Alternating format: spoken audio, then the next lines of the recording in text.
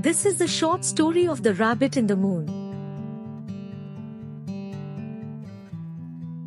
A long, long time ago, the man in the moon would spend his nights gazing down at earth.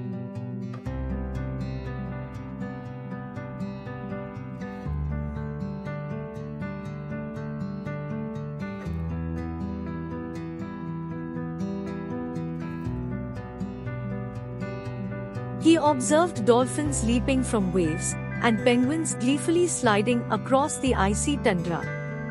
But his eyes lingered longer in the forest where a fox, a rabbit, and a restless monkey sat by a fire. Silly monkey. Can't even sit still for a moment. But the man in the moon was struck with a question Who among them is the kindest?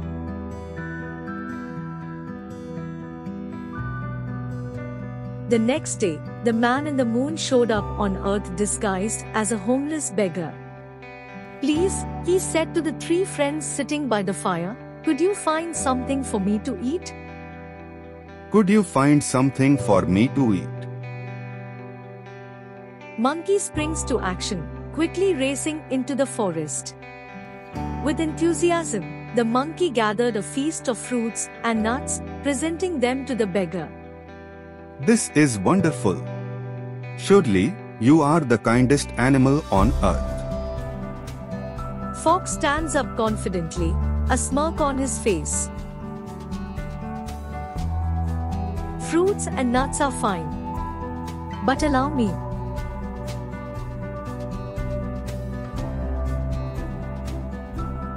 The fox rushes to the river and returns with fish. He starts cooking them. Delicious. Surely, you are the kindest animal on earth.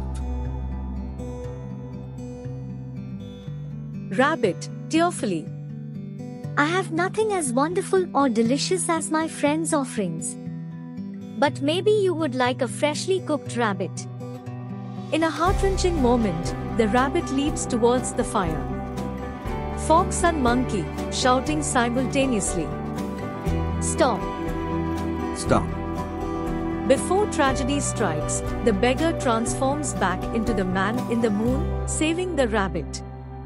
It is true kindness to be willing to give up everything, even one's life, for a stranger. The fox and monkey both asked the moon man that they were also kind, but why rabbit becomes the kindest creator? He said the rabbit was willing to give up everything he had for a stranger. He was willing to give up his life. So he is the kindest. And so, in recognition of the rabbit's unparalleled act of kindness, he went to live on the moon. Sometimes, kindness is rewarded in the most unusual ways. Thanks for watching. Please do like, share, and subscribe our channel.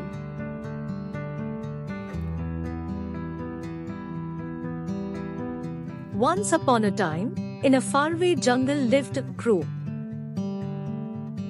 One day, he was flying here and there in search of food but did not get anything to eat.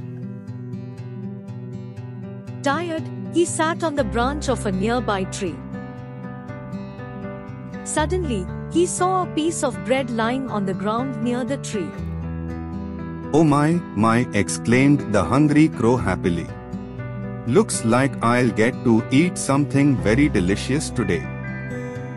He saw here and there and saw no one around. He quickly grabbed the piece of bread in his beak and took off. On his way, he saw many crows but didn't stop, as he didn't want to share his food with anyone. He flew to a faraway tree and sat on its highest branch. At the same time, a fox was strolling across the jungle and saw the crow with a piece of bread in his beak. Ah, that's a tasty looking piece of bread. I deserve that piece of bread and will get it anyhow. Hello, beautiful crow. How are you? How is your day going? Naturally, the crow did not say anything as he was taught not to speak with his mouth full. Look at your big and shiny feathers, my dear friend. No wonder you can fly up so high. I wish I were as beautiful as you. The crow again did not answer. Your eyes are sparkling like a diamond.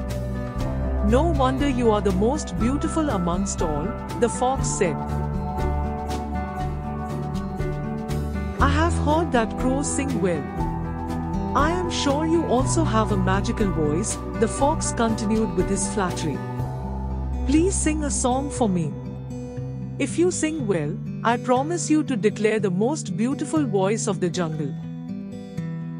This time, the crow fell for his words and started singing. He opened his mouth and started singing. As the crow opened his mouth, the piece of cheese naturally fell from his beak to the ground. The fox rushed and grabbed the piece of bread from the ground. Ha ha ha. You foolish crow. I knew you were going to fall for it. You think you have a beautiful voice? Ha ha. No way. The fox said this and left, enjoying the bread. The crow kept sitting there quietly, realizing his mistake and how foolish he had been. Moral of the story The moral of the famous The Fox and the Crow story is never believe flatterers. In the given story, none of the words said by the fox was genuine, and his only intention was to grab the bread. The crow believed his sweet words and ended up losing his food. Similarly, in life, we meet many people who flatter us to get their job done or to distract us from our goals, and we end up believing in their sweet lies. We need to identify such people and stay away from them, as they can go to any extent to fulfill their agenda and even harm us. Thanks for watching. Do like, share, and subscribe for more such captive stories. Once upon a time, there lived three fishes named Andhaka, Pratyu, and Yadbha in a certain pond, along with many other fishes. One afternoon, some fishermen were passing by the pond. They investigated the pond and agreed that the pond was full of fishes. They discussed, this pond is full of fishes, and there are many big ones too. We have never caught fishes in this pond. Let us come back tomorrow morning.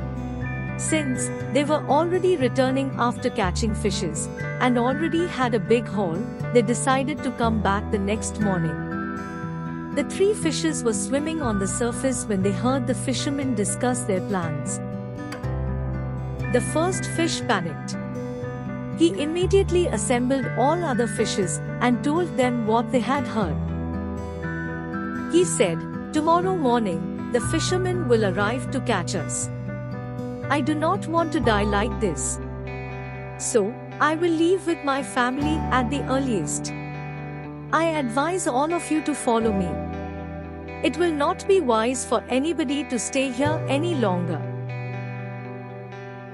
The second fish agreed, I shall follow you, my friend, for what you say is correct. It will be unwise to remain here anymore. But the third fish disagreed. He laughed at the two fishes and said to the fishes assembled, See how cowardly these two act. This pond belonged to our forefathers, and it is our home now. For so long, no harm has ever come to the fishes of this pond. He continued, just because some fishermen were discussing their plans, is no reason for us to panic and leave our home. Those who agree with me, I advise them to stay where we belong and not go to some unknown place.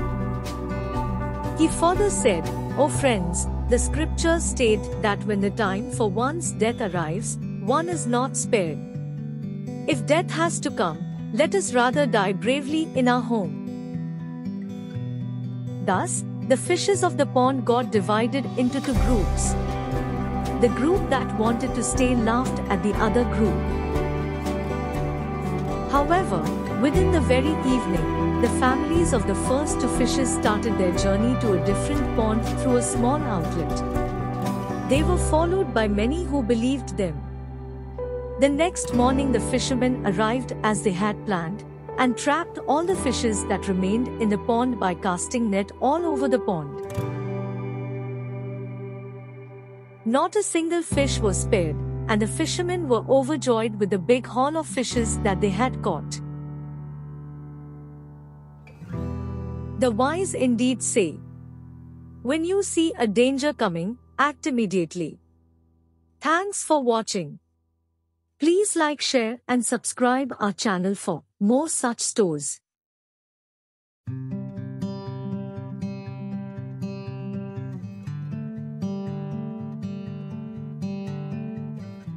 Once upon a time, there lived a huge king cobra in a dense forest. When he was small, he liked to eat small creatures. But, when he grew up, he started eating lizards, eggs, frogs, and rabbits. Further, when he grew up more, he even started eating small snakes. As he began to grow more and more, his pride began to grow with him. All the other animals in the forest also began to fear the king cobra. This also boosted King Cobra's pride each day. Soon, the king cobra began to think he was the most powerful creature and the king of the forest as all other animals in the forest feared him. Being the most powerful creature and king of the forest, he thought that he should now move from his small hole to a bigger and more decent place. So, he started searching for a place that would suit his size and status. After some time, he finally came across a big tree. He selected the tree as his house. But suddenly, he observed an anthill near the tree. Why should there be an ugly anthill near my big house? Seeing the anthill near his royal house, he started shouting with full force. I am King Cobra, the most powerful creature and king of the forest. Ants leave the place immediately. There was no reply from the ant side. This made him angry. So, he got wild and struck the ant's hill. Strangely, within minutes, thousands of ants swarmed up. The king cobra biting him everywhere. King Cobra struggled hard for some time and at last died a painful death. Moral of the story The King Cobra ants. The moral of the story is that we should not be proud of anything as pride goes before fall. The story also teaches that sometimes even the strong and powerful cannot face the smaller ones when they are large in number. Hence, we should never underestimate the power of any individual. Thanks for watching. Do like, share and subscribe our channel for more such captive stories.